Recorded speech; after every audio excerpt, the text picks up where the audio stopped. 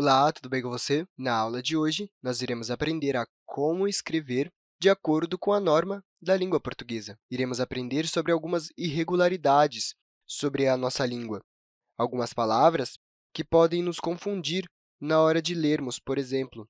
Vamos aprender também um pouco sobre aquelas palavras que possuem duas letras iguais, lado a lado, como o dois R's ou o dois S's, que formam sons diferentes numa palavra. Além disso, vamos falar sobre a letra H, uma letra que, mesmo que apareça em muitas palavras, geralmente não representa nenhum som. Bom, vamos lá, então.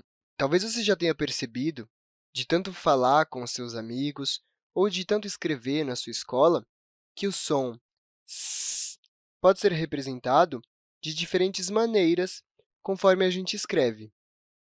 Uma dessas maneiras se dá com as letras S e C como, por exemplo, na palavra crescer. Nessa palavra, temos as letras S e C representando o som S. A palavra força é uma palavra que possui o C cedilha, representando o som S. Já a palavra assinatura é uma palavra que possui dois S's para representar o som. Da mesma maneira que todas essas palavras possuem SC, C cedilha ou dois S's, representando o som S, temos também palavras com um único S que representa esse som, como, por exemplo, a palavra sapo. Percebeu? A nossa língua possui diferentes formas de representar um mesmo som.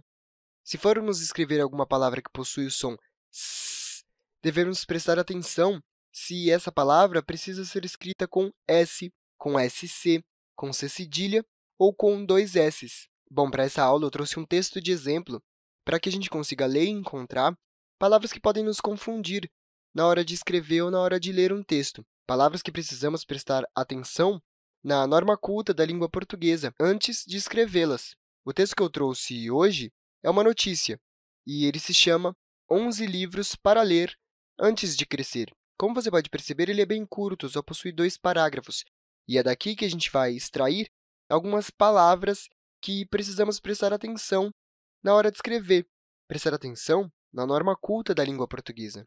Vamos ler o texto, compreendê-lo, e depois vamos tentar encontrar essas palavras, tudo bem? O texto começa assim. 11 livros para ler antes de crescer. Se a infância passa rápido até demais, fica uma dúvida.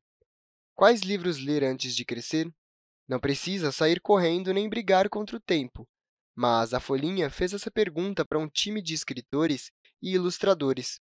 A partir daí, cada um preparou uma lista própria de 10 livros essenciais para a infância, e, da união delas, chegou-se a um livro vencedor e mais 10 leituras imperdíveis. Bom, eu não trouxe a notícia inteira porque senão o nosso vídeo ficaria muito comprido.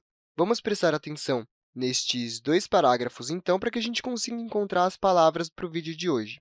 Logo no começo do texto, a gente tem a palavra passa. Essa palavra, como você pode ver, é uma palavra que possui dois S's.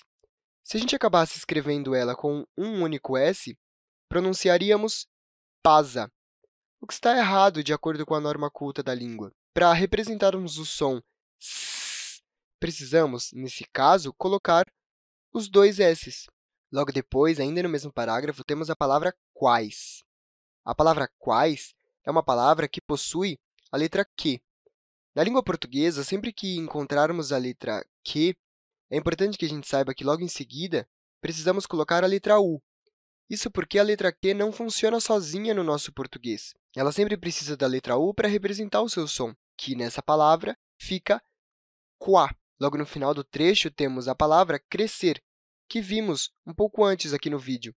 Essa palavra possui as letras S e C, formando um mesmo som, o som S. Bom, a gente viu que tanto na palavra passa quanto na palavra crescer, as duas possuem o som S.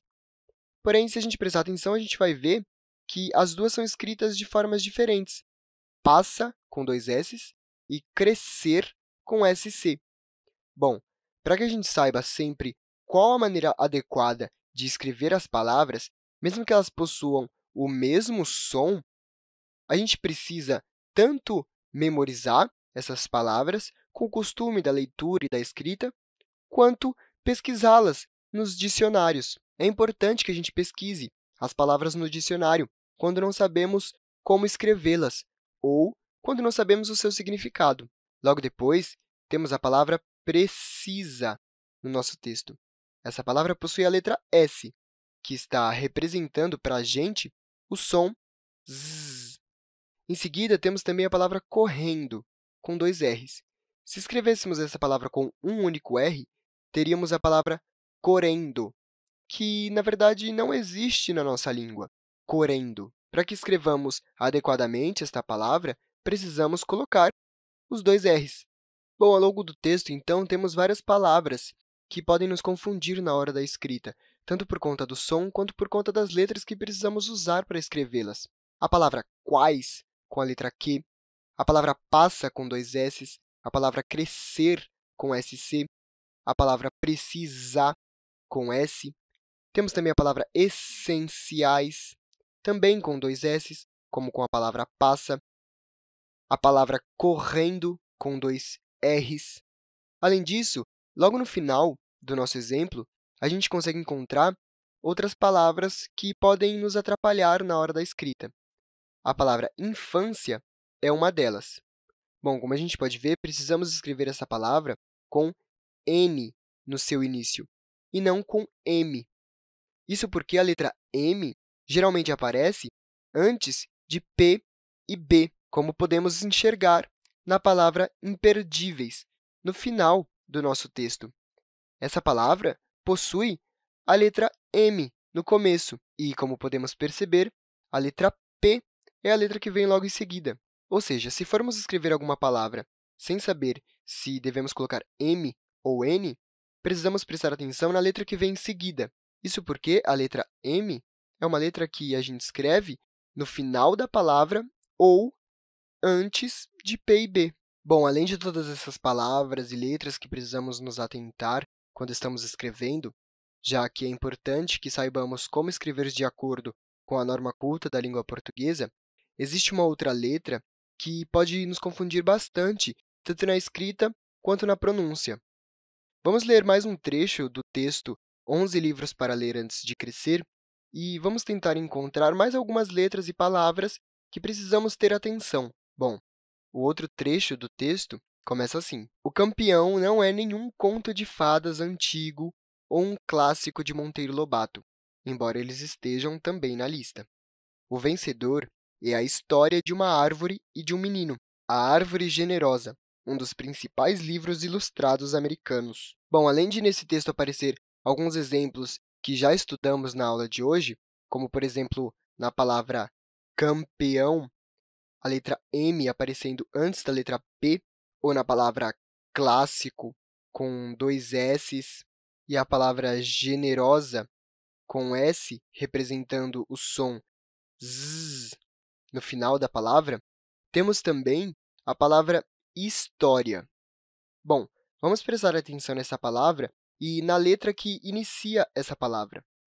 A letra H é uma letra que, na nossa língua, geralmente não representa nenhum som, dependendo da palavra. Isso a gente pode perceber em várias palavras que começam com a letra H. A palavra história é uma delas, porém, temos também palavras como homem, hora, nomes como Horácio, enfim, a letra H é uma letra que não costuma representar nenhum som na nossa língua portuguesa, geralmente quando aparece no início de palavras.